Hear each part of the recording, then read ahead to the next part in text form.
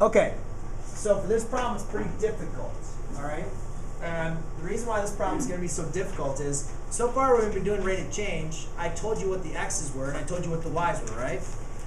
So it was pretty easy just to plug something into an equation and say, hey, the change in y is the difference of my y values, and the change of x was the difference of my x values, right? Yeah. Well, here's a word problem where I don't tell you what x's and y's are. So we need to go back to our understanding of what rate of change is.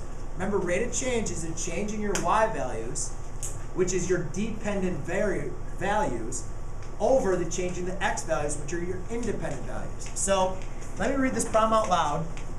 Let's see if we can actually understand what is going to be independent, what's going to be dependent. So it says in 2003, uh, federal vehicle emission standards allowed four hydrocarbons released per mile driven. By 2007, the standards allowed only two hydrocarbons per mile driven. What was the rate of change from 2003 to 2007? Right now, you have years, right? And You guys should always think about this. Whenever you're given years, do the years depend on really anything? No, right? I mean, you guys got to think about this. If it's 2003, you know the next year is going to be 2004, right? So 2004 does not depend on how many hydrocarbons um, were allowed. It's going to be 2004. So then the next year is going to be 2005. It has no bearing on how many hydrocarbons are allowed or, or not allowed, right? Because the next year is always going to come after the previous year, right? So years do not depend on anybody. So therefore, what I can say is my years are my dependent variable. And dependent is our what? I'm sorry, years are our independent variable, right? So therefore, x is going to be the years. All right, because they are independent. It doesn't matter. It doesn't matter what's going on in each year. Each year is going to happen one after another. So it doesn't matter how many hydrocarbons are allowed or disallowed.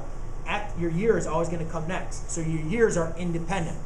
So therefore, my y is the number of hydrocarbons allowed. And when you guys are doing these, remember when we have word problems, you have to make sure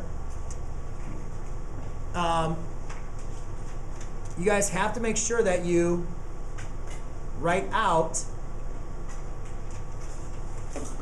you guys have to make sure that you write out what your variables are. And these aren't really your variables, but you guys should understand what your your independent and your dependent variables are, or values at least here are. So therefore, my change in y is my number of hydrocarbons. So what I have is from 2003 to 2007, right? So for 2003 to 2007, that was the number of years. So really what we're going to have is we're going to have hydrocarbons. So we're going to have the change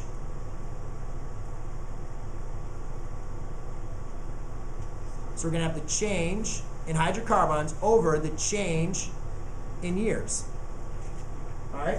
So what was the change in the hydrocarbons? From 2003 to 2007, how many did we, what did we change? First we had um, two. In, in 2003, federal emission standards allowed four. Then by 2007, they only allowed two. So did we go up or did we go down? We went down, right? They started releasing less. So therefore, it's going to be a negative, right? Because they're allowing us, to, they're reducing two less than the than the four years before. And then from the years from 2003 to 2007, how many years did we change? Four. So you can change of years would be four. So therefore, I can reduce my rate of change to equal negative one half.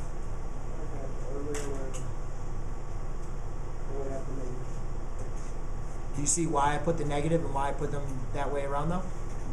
Does anybody else have any other questions? Just be careful when you're doing the word problems, and years are always going to be independent. So years will always be independent. But when you guys are looking at these, just always try to um, just try to focus on, you know, is it going up or is it going down to determine if you're negative, and what's going to be your independent or your dependent. All right? So that's how you do that problem. Woo! Whoa!